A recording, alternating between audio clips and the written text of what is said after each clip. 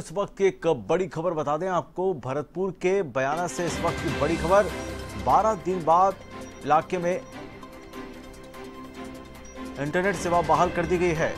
गुर्जर आंदोलन के चलते इंटरनेट सेवाएँ बंद कर दी गई थी। दिल्ली, मुंबई के बीच ट्रेनों का संचालन भी जल्द ही शुरू होगा। हिंडोन सड़क मार्ग भी शुरू होगा। तो ये राहत देने वाली खबर है, सुकून वाली खबर है। 12 दिन तक इस इलाके में इंटरनेट बंद था और अब गुर्जर आंदोलन खत्म हो चुका है। तो अब इंटरनेट सेवाएँ भी बहाल कर दी गई हैं और जल्दी दिल्ली मुंबई के बीच ट्रेनों का संचालन भी जल्दी शुरू हो जाएगा और सड़क यातायात भी शुरू हो जाएगा। तो बड़ी अच्छी खबर है, लोगों के लिए सुकून देने वाली खबर है, राहत की खबर है।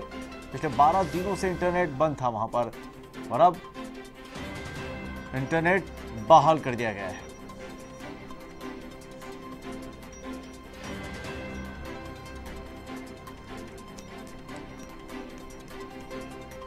तो आपको बता दें कि गुर्जर आंदोलन की वजह से दिल्ली, मुंबई जो ट्रैक है, वहाँ पर भी ट्रेनों का संचालन बंद था, सड़क यातायात भी बंद था और इंटरनेट भी बंद था। तो आप समझ सकते हैं कितनी परेशानियों का सामना करना पड़ रहा था आमजन को।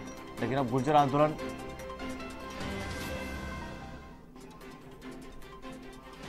तो चलिए, हमारे संवाददाता दीनू पारेश्वर इस वक्त तो फ़ोन लाइन पर जुड़ चुके हैं। दीनू, अगर बात करें तो पिछले 12 दिनों से अगर इंटरनेट बंद था, सड़क यातायात बंद था और ट्रेनें भी नहीं चल रही थी, निश्चित तौर पर अब ये सभी शुरू हो रहा है। आम जन को एक बड़ी राहत मिलती हुई नज़र आ रही है। बिल्कुल, अमित, मैं आपको बताना चाहूँगा कि बयाना के पीलू बराबर पिछले बारह दिन से लगातार गुर्जर समाज की ओर से आरक्षण की मांग को लेकर आंदोलन चलाया जा रहा था, जिसमें दिल्ली, मुंबई जो रेल ट्रैक है, उसको जाम कर दिया था। वहीं बयाना हिंडौन जो सड़क मार्ग है, गंगापुर के लिए जाता है, वहीं भरतपुर के लिए जाता है, जो मेगा हाईवे है, इसको भी पिछले करीब बारह दिन से जाम कर रखा था। तो कहीं ना कहीं आवागमन में परेशानी तो लोगों को हो रही थी। उसी के साथ में अपन इंटरनेट सेवा की बात करें तो पिछले तेरह दिन से क्षेत्र में इंटरनेट सेवा बंद थी जिसके कारण सरकारी कार्यालयों के कामकाज भी ठप पड़े थे। वहीं जो ऑनलाइन क्लास जो बच्चे ले रहे हैं उनकी क्लास नहीं हो पा रही थी। व्यापारियों के ऑनलाइन ट्रांजेक्शन नहीं हो पा रहे थे। खास करके एटीओ में से भी पैसे नहीं निकल रहे थे। तो अपन कह सकते हैं कि इस आंदोलन के चलते आम जनता काफ़ी परेशान रही। बयाना की बाज़ार की बात करें तो पिछले बारह तेरह दिन से बाज़ार पर इतना फ़र्क पड़ा है कि बाज़ार में बिल्कुल सन्नाटा रहा है। और आवागमन जब रुक गया तो गाँव के लोग बयाना शहर में नहीं पहुँच पाए। बिल्कुल दीनू इस बात को इस बात को हम समझ सकते हैं कि त्योहारी सीज़न है और ऐसे में आम जन को इतनी परेशानियों का सामना करना पड़ रहा था। आपने लोगों से भी बात करी होगी व्यापारियों से भी इस बारे में बात करी होगी। अब सब कुछ ओपन हो रहा है क्या कुछ कहना है उनका?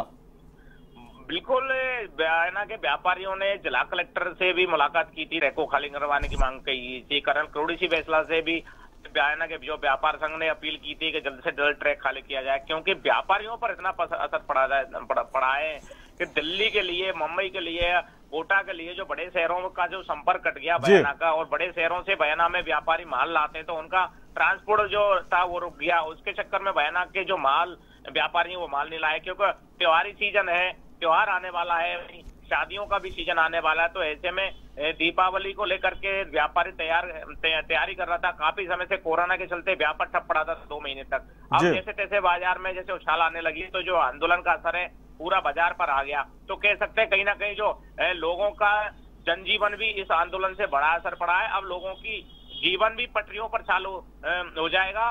और आज से दिल्ली मुंबई के रेल लिए जो रेल लाइन पर जो बंद थी ट्रेन आज से चालू हो जाएँगी। बयाना हिंडौन जो सड़क मार्ग है वो भी आज से चालू हो जाएगा। इंटरनेट सेवा आज सुबह से चालू कर दी गई है। तो कुल मिलाकर जो आंदोलन की समाप्ति है वो आम जन के बीच में इसका जो मैसेज गया है तो लोग और व्यापारियों में काफ़ी खुशी देखने को मिल रही है। जी चलिए सर तमाम जानकारी के लिए शुक्रिया आपका। तो बयाना से ये खबर और हमारे संवाददाता बता रहे थे कि किस तरीके से 12 दिन से वहाँ पर इंटरनेट सेवा बंद होती तो कितना मुश्किलों का सामना करना पड़ रहा था।